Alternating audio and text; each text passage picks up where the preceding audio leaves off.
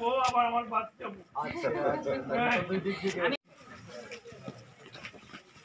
আমার photo photo কিছু দিল না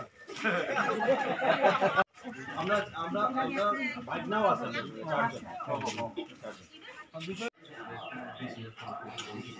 মহিলা হলে বাসা ঠিক আছে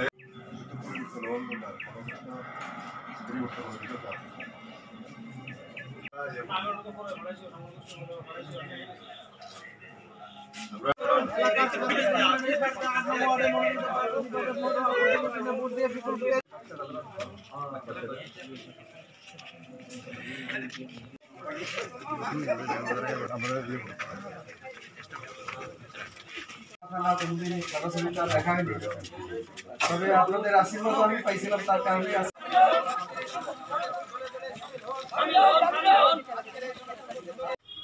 তো কিটা চিন্তা ভাবনা আছে তো আপনার না? হ্যাঁ হ্যাঁ আশা করতে পারি তো ডেন ডেন করোনা লাগতো তুমি তো এগুলো ইন্টেলেকচুয়াল মানুষ তোমার তো বোঝার কোনো নাম নাই। ইন্টারভিউ করতে চান এই যে সঠিক করে অ্যান্টিবায়োটিক অ্যান্টিবায়োটিক সবচেয়ে ভালো স্পেশালিস্ট কত বলের মাঝখানে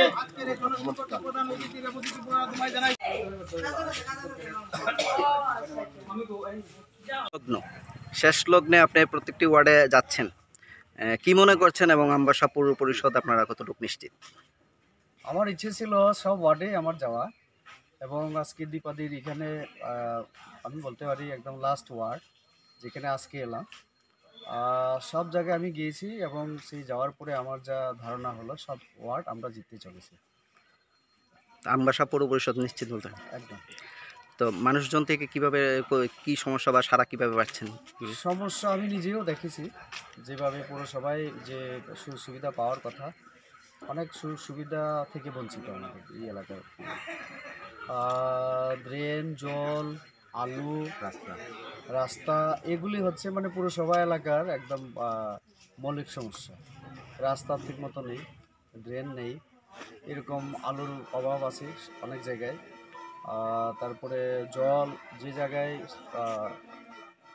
অ্যাভেলেবল সেখানেও মানে আয়রনের সংখ্যা বেশি। অনেক কিছু সমস্যা আছে। তো আমরা আমাদের তরফ থেকে, দলের তরফ থেকে, বিজেপির তরফ থেকে একটা লিফলেট আমরা দিয়েছিলাম। সেখানে আমরা বলে দিয়েছি, বলার চেষ্টা করেছি যে ওইগুলির উপরে আমরা গুরুত্ব দিয়ে কাজ করব, যদি আমাদের পৌরসভা গঠন করার সুযোগ পাই।